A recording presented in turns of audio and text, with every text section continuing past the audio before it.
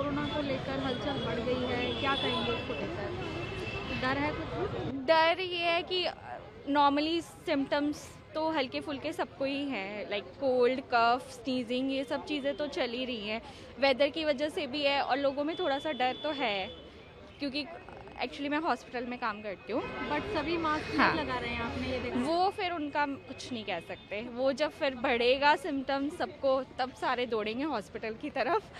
High तो वह मचेगी फिर सब में। क्या आपको लग रहा है कि दो दोबारा से कोरोना आ रहा है? बिल्कुल आ रहा है और काफ़ी लोगों ने मास्क वगैरह दोबारा से यूज़ करना शुरू कर दिया है क्योंकि मैं भी दूर से आता हूँ शादरा से आता हूँ। आपने नहीं लगाया मैं भी लंच पे आया था तो इसीलिए मैंने नहीं यूज़ किया है बट मेरा रखा है मेरे पास है। तो क्या लगता है आपको मास्क लगाना शुरू बिल्कुल लगाना चाहिए और अभी सेफ्टी बरतेंगे तभी वरना फिर से भारत बंद हो जाएगा। अगर भारत बंद हो गया तो स्थिति कुछ ज़्यादा ख़राब हो सकती है इस बार। ऐसे अंदेशा जताया जा रहा है कि जनवरी में हालात और बढ़ सकते हैं। Might be might be possible to increase the patient over here.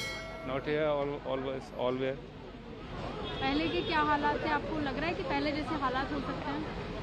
पहले और अब में हालात में थोड़ा सा फ़र्क है। अभी लोग जो है नहीं, थोड़ा सा जिन्होंने डोज लिए हैं मतलब लगवाया, उसके हिसाब से कम यूज़ कर रहे हैं, मैंने देखा है। यहाँ ऑलवेज मतलब मेट्रो में भी देखा है मार्केट्स में भी देखा है, लोग लेकिन यूज़ मास्क यूज़ नहीं कर रहे।